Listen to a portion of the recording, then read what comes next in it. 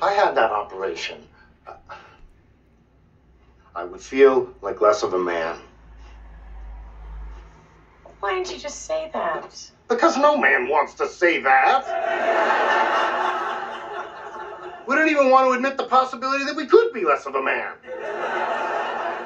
You don't think I'm curious about the mango margarita? Huh? It looks delicious, but I will never order one.